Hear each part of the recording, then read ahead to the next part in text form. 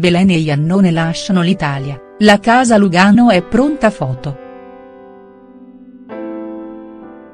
Belen e Andrea Iannone vanno a vivere a Lugano, la foto della casa in Svizzera.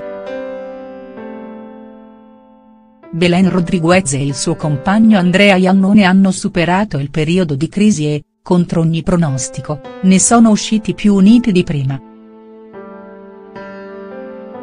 Sul numero di chi in edicola mercoledì 24 gennaio compaiono le immagini della casa acquistata a Lugano, la quale è dotata di tutti i comfort di lusso, foto in basso. La coppia quindi ha progetti importanti per il futuro e tale abitazione dimostra la voglia di essere una famiglia come tante altre. La showgirl non è ancora certa di un trasferimento stabile in quanto la priorità è il figlio, nato dalla relazione precedente con Stefano De Martino.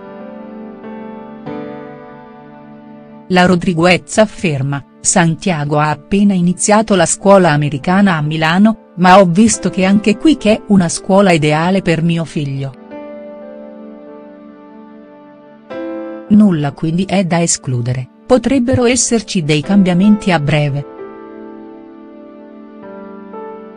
Belen risponde alle recenti polemiche dei fan.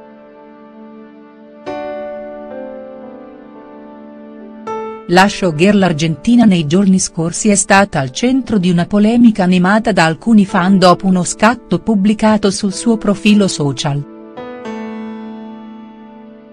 Motivo di tale disapprovazione è stato l'outfit indossato durante il battesimo di Brando Andrea, figlio della sua assistente ed amica Antonia. In tale occasione Belen ha indossato una gonna corta e una giacca nera, ma secondo alcuni le sue calze mettevano troppo in risalto le gambe per cui considerata fuori luogo. Alcuni fan le rimproveravano questo suo eccessivo esibizionismo, molti altri invece hanno preso le sue difese, giudicandola molto elegante e adeguata alla cerimonia. Belen, non mi arrabbio più.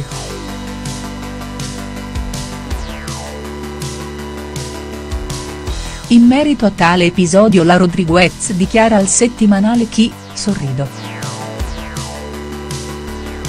Aveva una gonna, una giacca nera e calze spesse 20 denari.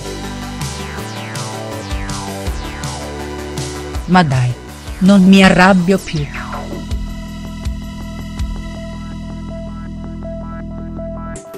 Belen ormai è abituata alle critiche gratuite per cui ha deciso di dare il giusto peso ad ognuna di esse e di non farne una tragedia ogni volta. La showgirl sa quali sono le conseguenze del mestiere e comprende le opinioni altrui sebbene spesso possa non condividerle.